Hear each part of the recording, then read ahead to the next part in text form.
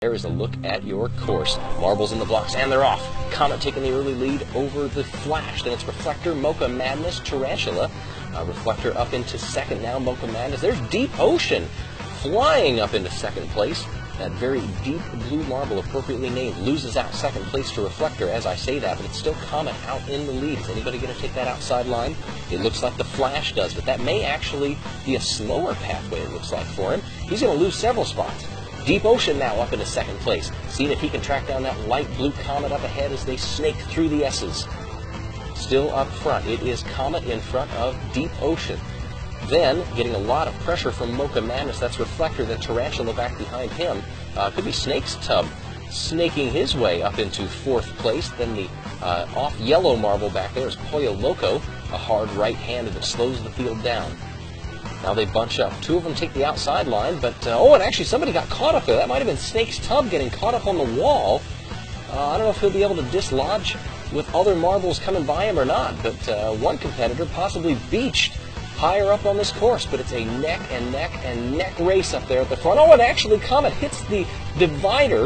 The attenuator slows him down, and he falls back into third place now into the clutches of Deep Ocean. So it's Reflector out front, and now Tarantula takes the lead. Tarantula getting right by him.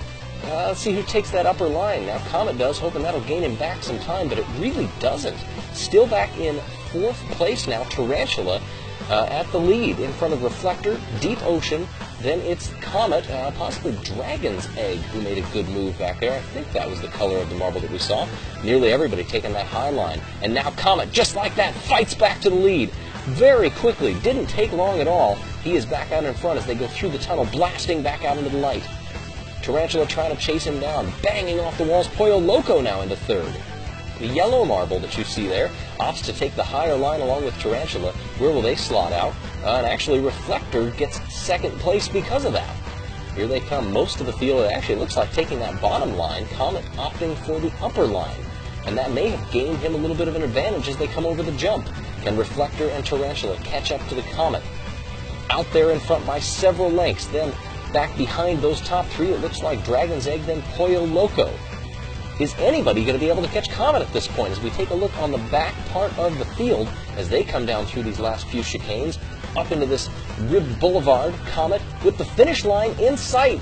Tarantula will not be able to chase him down. Reflector going to round off the podium in front of Pollo Loco, Dragon's Egg, and Glassy.